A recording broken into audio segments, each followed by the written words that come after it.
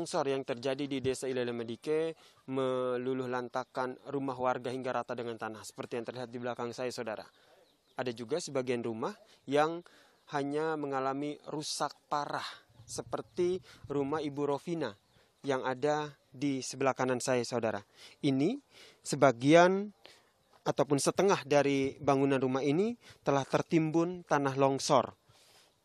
Beruntung pada saat kejadian, Ibu Rovina dan juga keluarga ini bisa selamat.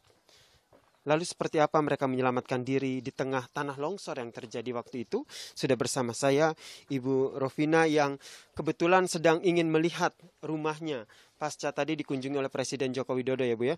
Ibu Rovina bisa diceritakan waktu kejadian menyelamatkan dirinya seperti apa? Ya, waktu kejadian saya masih dalam rumah dan kejadian longsor datang, air sudah masuk dalam rumah dan kami keluar lewat jendela. Bisa ditunjukkan. Nah, bisa. Uh, Jadi jadi kami eh, lewat jendela, Pak. Itu lumpur sudah sampai ke lutut. lumpur sudah sampai ke lutut iya, ya. sudah sampai ke lutut. Oke. Dan keluar lewat jendela baru lari. Baru lari ke dalam dari, Lari keluar, iya. Lari keluar ya. Iya. Ya, eh, dari jendela ini juga tadi Bu Rufi- Rovina sempat melihat kondisi rumahnya.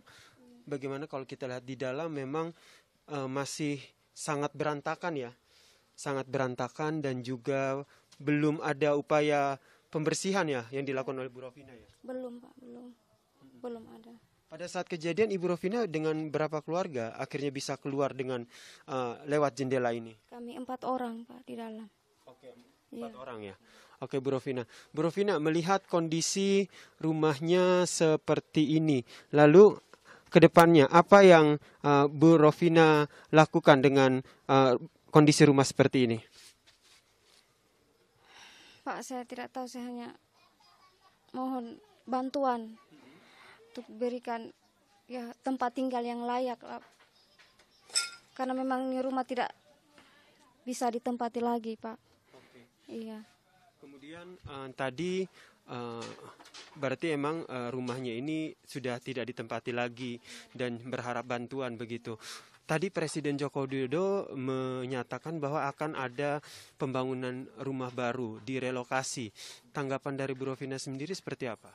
Eh, Saya sangat berterima kasih, Pak, kalau memang Bapak mau renovasi rumah supaya kami bisa tinggal.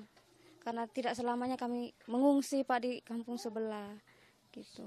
Karena memang rumah kami memang tidak layak lagi untuk ditinggal, gitu, Pak. Berarti Ibu Rovina sendiri sudah ikhlas begitu ya, Eh, tidak lagi menempati rumah ini. Iya.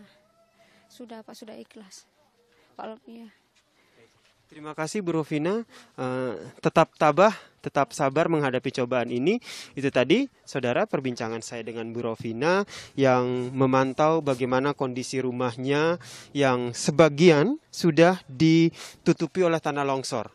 Ia bercerita seperti apa ia bisa keluar dari lolos dari bencana tanah longsor dengan melewati jendela yang bisa dibuka dan tadi harapannya adalah bagaimana pemerintah dapat segera melakukan relokasi, membangun rumah-rumah ataupun hunian-hunian baru bagi para korban tanah longsor ini karena tidak hanya Bu Rovina, tapi ratusan warga lain yang terdampak tanah longsor di desa Ilele Medike ini sudah tidak punya tempat tinggal.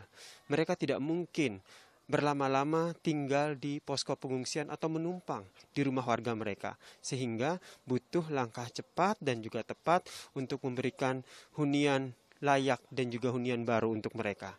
Yasir Nene Ama, Bimo, Kompas TV, Adonara.